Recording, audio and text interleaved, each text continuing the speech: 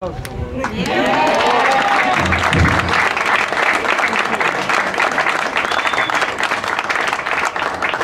deeply emotion.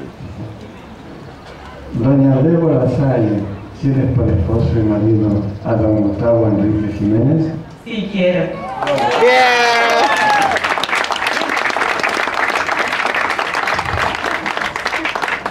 Rojo de Paz, encargado del registro civil, en nombre de la ley declaro que don Gustavo Enrique Jiménez y doña Débora Sáenz quedan unidos en legítimo matrimonio ante los testigos Carla María Belelago, Natalia Encet, María Ramírez, Isabel Arauz, Alejandra Emilio Irrich y Hernán Gabriel.